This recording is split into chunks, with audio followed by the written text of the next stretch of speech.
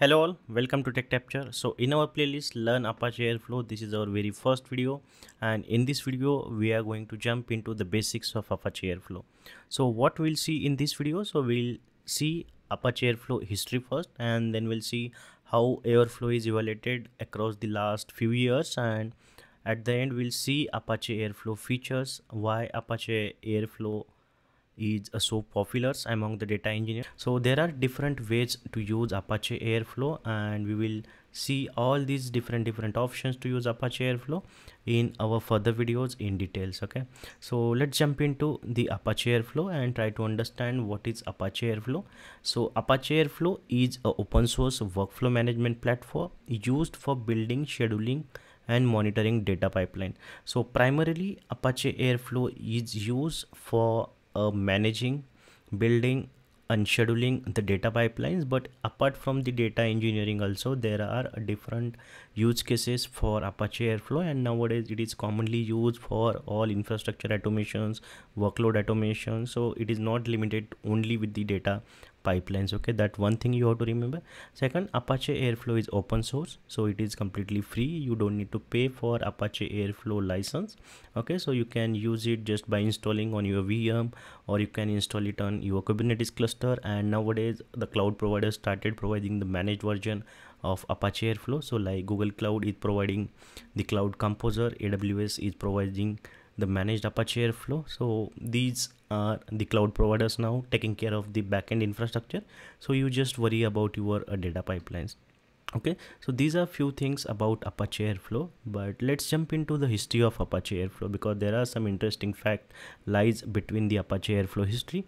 So we'll see how apache airflow is originated who developed apache airflow and how it just emerged as a top data engineering tools across the data engineers okay? So in 2014 apache airflow is developed by the airbnb. So this is the us based homestay company. So they just develop for their in-house requirement for managing their complex workflow. And in 2015 they made it open source with the apache license 2.0 okay? So from the beginning it was open source.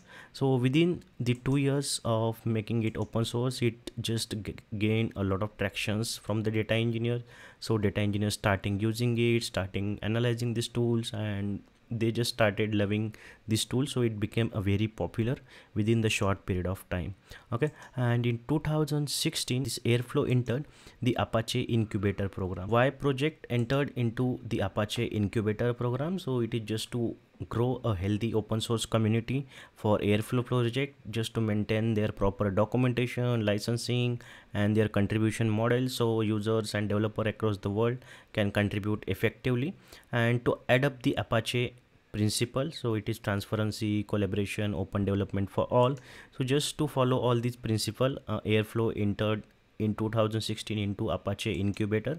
So large amount of developers started contributing to this apache airflow and in 2018 astronomer company introduced the saas platform for the apache airflow and within the short period of time again the google launched the managed apache airflow service which is uh, called as a cloud composer and in 2019 then apache just announced this as a top level open source project. So this is means this project is stable and mature enough to use in a production.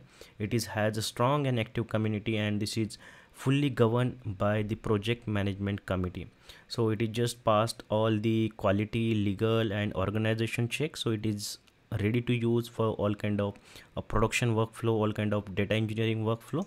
So it is just renowned as officially promoted as a airflow top level project okay? So after that in november 2020 aws also launched the managed workflow for apache airflow where all the infrastructure is taken care by aws and the user just has to worry about the etl pipelines so after that it just reached to the global audience and it is like kind of the pronoun tool in the data engineering history okay? So now it is very popular and it is if you want to just become a data engineer you cannot run away from airflow because most of the industries are using apache airflow even though it is python spark job or any kind of etl elt pipeline. You can just orchestrate your etl pipeline using the apache airflow so now let's discuss few features about apache airflow. Why apache airflow is so popular? Why it is so powerful? So let's talk about some apache airflow features. So apache airflow is a dynamic workflow generation so you don't need to worry about lot of configuration files here. So everything is written in a python.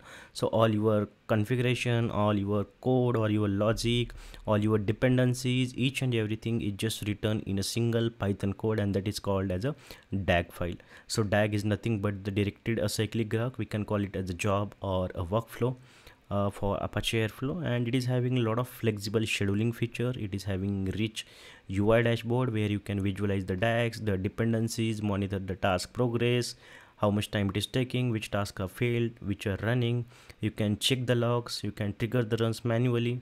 It is also having a lot of features, a lot of operators and broad integration across the cloud providers like GCP, AWS, Azure, and along with the Kubernetes, Docker, Slack, and the other data engineering integrations okay? So it is having a lot of pre-built operators. In you means you don't need to worry about a lot of coding. You can just use a pre-built operator for executing your bash command to call your python workflow to call the sql script. You can connect directly with the s3 bucket. You can connect directly with the bigquery and just make it powerful etl data pipeline. So there is also a task dependency management. So you can set the task dependency which task should be executed first which task should be executed after that task and you can just even though let's say something is failed and now you want to trigger some additional actions so you can do that with the apache airflow. So these are very great features of apache airflow and we'll see a apache airflow architecture also in detail in our next video. So in this video that's it and we will see you in a next video